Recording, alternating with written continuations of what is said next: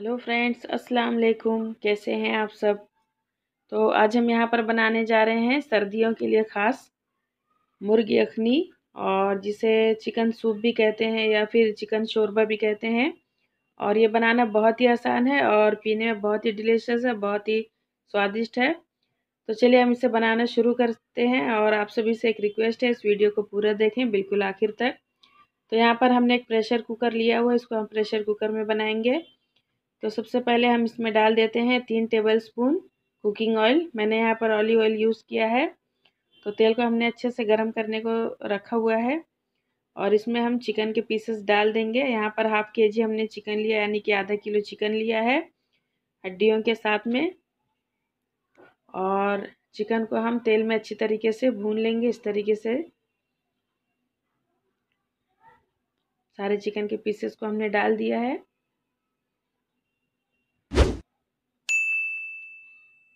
और चम्मच की मदद से हम इस तरीके से इसको अच्छी तरीके से चला लेंगे, अच्छी तरीके से तेल में चलाते हुए भून लेंगे।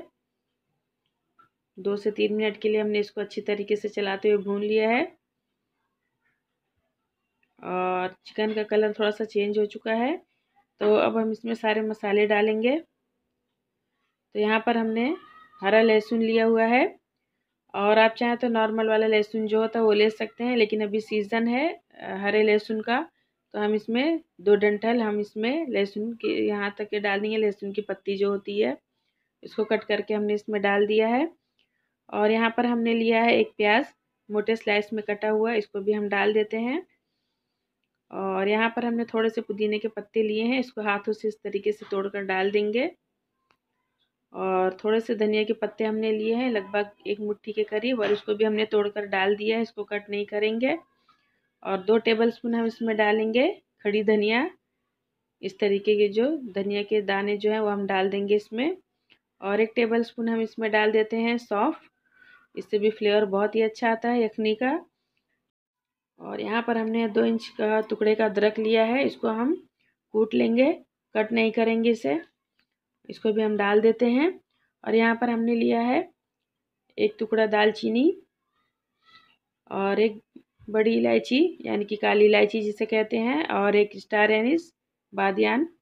और तीन लौंग हमने यहाँ पर लिया और पाँच हरी इलायची। इसको भी डाल देते हैं। दस से बारह हमने यहाँ पर काली मिर्च के दाने लिए हैं और हाफ़ टी स्पून सात ज़ीरा लिया है और हाफ़ टी स्पून नॉर्मल जीरा जो होता है, वो हमने यहाँ पर लिया है। इसको भी डाल देते हैं। और यहाँ पर हम चिकन स्टॉक डालेंगे। चिकन क्यूब इसे कहते हैं। ये इस तरीके का होता है। मैगी का मिलता है? चिकन क्यूब जिसे कहते हैं। और इसे हम सूप वगैरह में डालते हैं तो ये बहुत ही टेस्टी होता है। इसे अक्सर सूप वगैरह में या ग्रेवी में डाला जाता है तो हम इसमें डाल रहे हैं। इसको हाथों से मसल कर इस तरीके से डाल दें। और अब हम इसमें डाल देते हैं नमक। नमक अपने स्वाद के अनुसार डालें, कम ज़्यादा अपने हिसाब से कर लें नमक को। और अब हम इसमें डाल देंगे एक चौथाई टीस्पून हल्दी पाउडर। हल्दी बिल्कुल ज़रा सा डालेंगे। और सारी चीज़ों को हम अच्छे तरीके से मिला लेते हैं, अच्छे तरीके से मिक्स कर लेते हैं। और अभी से इसकी खुशबू बहुत ही अच्छी आ रही है तो अब हम इसमें पानी डालेंगे। लगभग एक से डेढ़ लीटर हम इसमें पानी डालेंगे, जितना कि हमें शोरबा या यखनी जितना हमें चाहिए सूप उतना पानी हम इसमें डालेंगे। तो लगभग एक से डेढ़ लीटर पानी हमने इसमें डाल दिया है और हम आधा लीटर पानी और डाल देते हैं। और बहुत ही मज़ेदार सूप बनकर तैयार होगा। और चिकन का यखनी जो होता है, ये बहुत ही डिलीशियस होता है। तो आप एक बार ज़रूर ट्राई करें इसे बनाने के लिए। बहुत ही बढ़िया तरीके से बनती है। तो अब हम इस पर कुकर का ढक्कन लगा देते हैं और इसको पाँच से छः सीटी आने तक अच्छी तरीके से इसको हम पका लेते हैं। और यहाँ पर छः सीटी हो चुकी है तो अब हम प्रेशर कुकर को खोल देते हैं। और आप देख सकते हैं, बहुत ही बढ़िया हमारी चिकन यखनी बनकर तैयार हुई है और इसकी खुशबू तो बहुत ही लाजवाब है। तो एक बड़ी सी छलनी हमने यहाँ पर ली है और नीचे एक पैन रखा हुआ है और तो हम यखनी को छान लेंगे अच्छी तरीके से, ताकि जो खड़े मसाले हैं वो अलग हो जाएँ। तो चिकन को भी इस तरीके से हम छलनी में छान लेंगे और सारा स्टॉक देखिए। नीचे पैन में निकल चुका है। हमारा सूप बढ़िया सा यखनी जो होता है वो पैन में निकल कर अच्छी तरीके से तैयार हुआ है। बहुत ही बढ़िया से सूप बनकर तैयार हुआ है। तो चलिए अब हम इसे सर्व करेंगे। तो यहाँ पर हमने दो सूप बॉल लिए हैं और इसमें हम चिकन को डालेंगे। चिकन को वेस्ट नहीं करेंगे बिल्कुल भी। चिकन सूप के साथ खाने में बहुत ही अच्छा लगेगा। तो इस तरीके से इसको थोड़ा सा झाड़ दें ताकि सारे मसाले जो हैं वो अलग हो जाएँ। और चिकन को इस तरीके से हम बाउल में रखेंगे।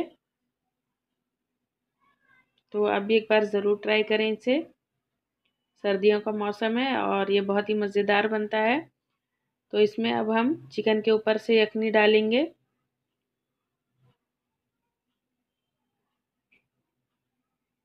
तो ये हमारा एक चिकन सूप का बॉल तैयार हो चुका है। तो इसी तरीके से हम दूसरा बॉल भी तैयार कर लेंगे।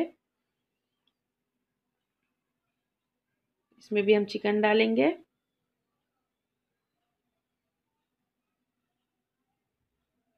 जब भी सर्दियों में आपको हल्की भूख लगी हो तो सर्दियों में इसे ज़रूर बनाएँ और बहुत ही बढ़िया ये चिकन यखनी बनती है तो एक बार ज़रूर ट्राई करें।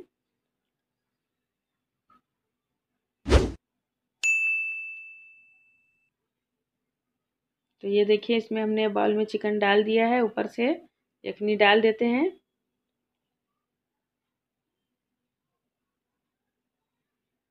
तो ये देखिए, दो बाउल हमारे सूप के तैयार हो चुके हैं। तो अब बारी आती है इसको गार्निश करने की। तो यहाँ पर हम उबले हुए अंडे लेंगे। यहाँ पर हमने आधा आधा अंडे दोनों बाउल में रखे हुए हैं, इसको गार्निश करेंगे। और ऊपर से हम काली मिर्च का पाउडर यानी ब्लैक पेपर का पाउडर ऊपर से छिड़क देंगे। और पुदीने के पत्ते से हम इसे गार्निश करेंगे। तो ये हमारी चिकन यखनी बनकर तैयार है, सर्दियों के लिए ख़ास। तो अगर आपको ये रेसिपी पसंद आई हो, ये वीडियो पसंद आई हो तो इस वीडियो को लाइक करें, मेरे चैनल को सब्सक्राइब करें और कमेंट करके मुझे ज़रूर बताएँ ये रेसिपी आपको कैसी लगी, ये वीडियो आपको कैसी लगी। अपने दोस्तों से और फैमिली में इसे शेयर ज़रूर करें इस वीडियो को।